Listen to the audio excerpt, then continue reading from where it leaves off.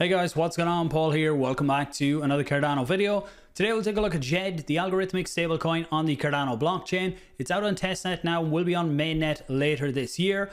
Algorithmic stablecoins, there's a lot of talk about them this week with UST on the Terra Luna blockchain losing its peg and going into a death spiral, pulling Luna all the way down as well. So in this one, I will give you an introduction to Djed, how it works, show you some of the research I have, some of the pros and cons of it as well. It's not all perfect. And I will be doing further videos on this as well, so make sure you subscribe for them. Leave questions below that you want me to dig into and try and get answers for in the other videos, and timestamps will be below. Give the video a like. I do appreciate it. Let's jump into it.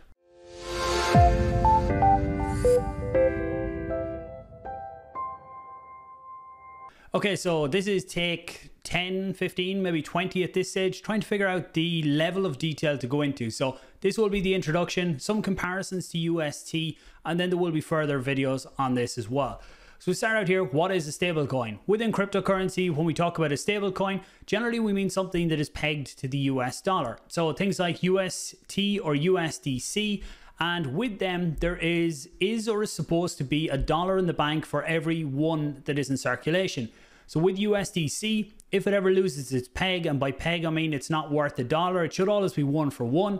If it ever goes below a dollar, there's incentive there to buy it up because if the market doesn't correct, you can cash in that one USDC for one dollar in the bank. Okay, when it comes to algorithmic stablecoins, these are very different. They aren't backed by dollars in the bank. They're backed by whatever you set there. It could be gold, could be cryptocurrencies, could be some other things as well. In the case of Djed, it's going to be ADA is going to be what sits in the pool with the actual value to pay out on Djed. There is a reserve coin called Shen, and I will talk about that in a second. With Djed, it is going to be over collateralized as well. With UST, it wasn't over collateralized, so once the market started to go down, put a lot of pressure on it, it got to a stage where it just couldn't hold up. Djed, look, I'm not saying that a market downturn won't affect Djed it could, but it would have to go down a long way before it does. And I will actually show you some examples on that as well. So just where Djed comes from, there is a testnet out live now. The COTI team have put this together for Cardano. It's out on testnet and you can go and check that out. And I will show elements of that here as well. There is actually already a version of Djed working. It is Sigma USD over on the Ergo blockchain. And you can see, just like I said, there's a reserve coin for Djed. You can see with Sigma USD, the SIG USD is effectively Djed on Ergo, and SIG RSV is the reserve coin, which for us on Djed is Shen. And the reserves for this are at 271% right now, even after the major downturn in the market. Now, these two are linked, they're not exactly the same. Djed or Sigma USD is what's called minimal Djed, and that's from what I understand from research. If that's incorrect, do let me know. An extended Djed then is what we will have on Cardano and we are calling Djed. And they both come from the research done for Age USD. People within Cardano will be familiar with these names. IOG, Ergo Foundation and Emurgo put together this research paper all about what it is and these are these are the products that are coming out of it. So when we look at Djed, if I show you here actually, there is the two elements. So you have Djed as the stable coin and Shen is the reserve coin, which will enable Djed to be over collateralized. And it's just loading there, the reserve. I think when I checked earlier, it's somewhere in around that 300% over collateralized as well. We'll come back to that in a second. So this is what we'll use to talk about it. There's three elements of this essentially. You have the stable coin here, which is Djed. You have the reserve or the base in the middle, which would be the smart contract or the pool that holds the ADA that backs Djed. And then you have Shen, which is the reserve coin, and that's what will allow the over collateralization.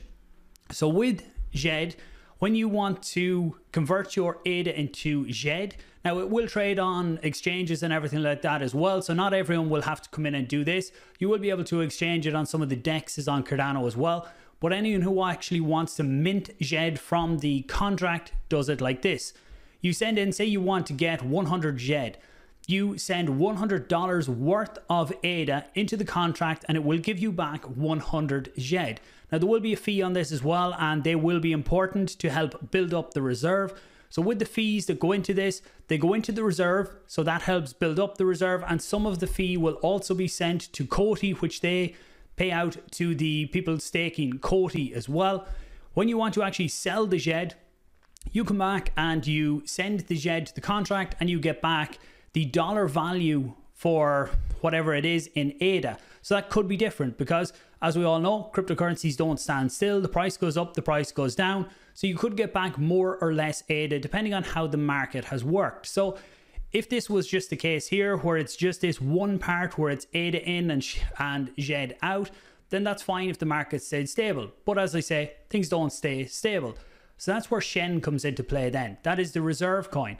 So with Shen, again, you can send in ADA and you get back Shen. But Shen isn't going to be pegged to the dollar. It will depend on how much is in the reserve. That will depend on the value of Shen. So if there's more action on people minting and burning Djed on the other side, that puts more and more fees into the pool.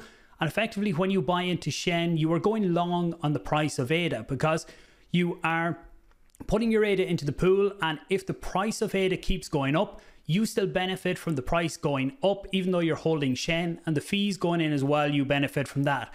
But on the other side, if the price of ADA goes down, that's where Shen, Shen holders can get severely affected. Then, once the reserve is over 400%, Shen holders can always sell their Shen and get back the ADA from that.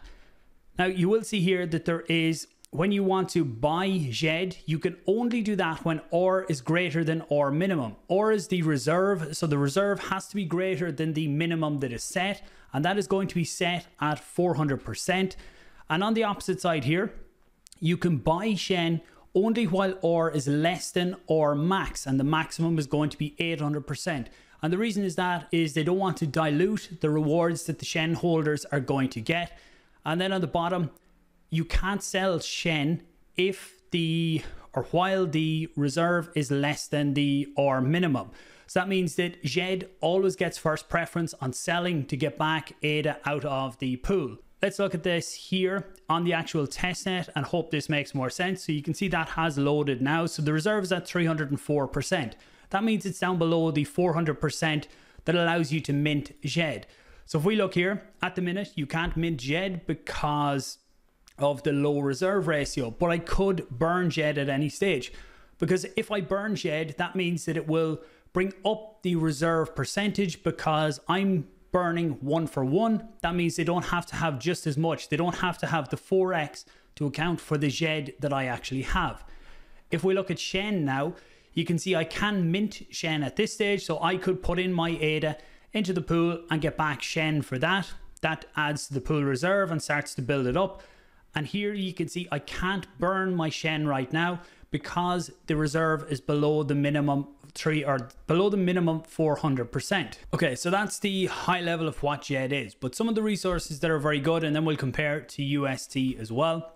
So resources to take a look at. MoneyZG put this video together here. I think it's really well done, talks about Djed, what it is, and compares UST to Djed then as well. I'll come back to that one in a second. Another good thread here on Twitter as well. I'll link this one down below. Gives an introduction to what Djed is and goes through some of the examples of how it all works as well. Talks about the differences in it. So I'll put a link to that one down below. And also, this is a really good guide to follow for some technical deep dive threads like this as well. Okay, and one other thread I would say to have a look at is Matthew's one here. And this kind of asks questions on the other side as well and talks about some of the potential risks for Djed. And suppose he's asking questions more than saying, yes, these are risks. So it's definitely worth checking out as well. And one that he talks about was the price decline. And I mentioned that earlier in the video. If we go down here, so he said about recently we've seen ADA drop basically 80% from its all-time high of 310. So if this happened and all of the ADA was put into the contract at the all-time high, then right now the price would be depegging or very close to depegging for Djed. Now in the reality, and he says here, to be fair, realistically, all of the reserve funds that go into Djed aren't going to go in at an all-time high. They will go in in a DCA manner, which I talk about, dollar cost average into any trade so it's going to be going in at all different prices and there will be an average in there. So effectively, actually in the current market, it's probably a good time for something like Djed coming out. It won't be out for another few months just yet. Who knows where the market's going to be then. But if the price of ADA is lower when it comes out, that means that there has to be more ADA put into the pool, smart contract in order to back Djed. So then if the price of ADA rises, then that's very good, especially for Shen holders, because when you get involved and you put in your ADA for Shen, you are effectively going long on the price of ADA. So again, I'll leave both of them down below. Now comparing back to UST. So with UST, I said they weren't over collateralized. This was the Luna Foundation Guard reserves. So this is what they had behind the coin. So they had Luna behind it. They also went out with the reserve that they had. They went out and bought Bitcoin, AVAX as well, but it wasn't really over collateralized unless the market went up from they bought. Then it was over collateralized slightly due to the price increase of the reserves they were holding. It was also tied into the overall supply of Luna, so into minting and burning of Luna. So when there was UST being created or burned, that affected the overall supply of Luna. And effectively, that is what brought into a death spiral with more and more Luna being created when UST was losing its peg and brought both coins down in the end. With Djed, this won't be tied into the supply of ADA. It won't have any impact on that. It with Djed, it is basically people coming in and putting the ADA into the contract to back Djed and Shen. It won't make any difference to the overall supply of ADA. They also had a very centralized element with the Foundation Council. These six guys here basically decided what was going to happen with the reserves of the UST coin. So they were able to say, we'll go out and buy this or we'll move these funds here. That's not what we need right now, or ever really in cryptocurrency. We need to go decentralized. Now, I'm still digging in to see exactly how decentralized Djed is, and that's why I want to bring people on here that will have all of that information.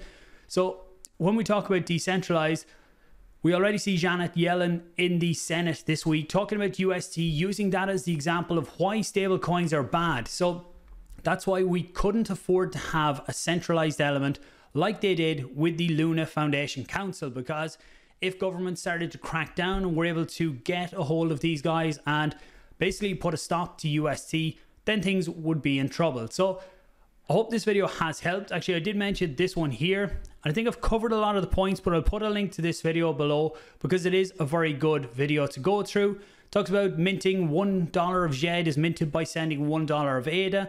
4x over collateralized by Shen and also the fees that go into the pool as well help build up that reserve. And that is compared to UST not being over collateralized. And the one UST is minted by buying $1 of Luna.